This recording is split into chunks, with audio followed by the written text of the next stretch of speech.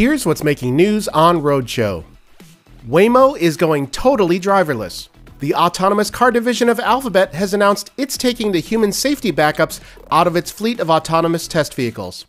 The Chrysler Pacifica based fleet will be capable of level 4 autonomy within a predetermined area. Waymo says it will eventually expand the geofenced research area to all of Greater Phoenix. The endgame, a self driving car sharing service. Speaking of Google, the Silicon Valley giant is teaming up with Germany's Volkswagen on quantum computing. The two companies will use the lightning quick experimental computing platform to study things like traffic flow management, artificial intelligence, and machine learning, as well as structures for advanced EV batteries. The research will be carried out in San Francisco and Munich. Infiniti is recalling over 17,000 examples of its 2017 and 2018 model year QX30 compact crossover. Apparently, a grounding issue in the steering column could inadvertently trigger an airbag deployment if the airbag's clock spring fails.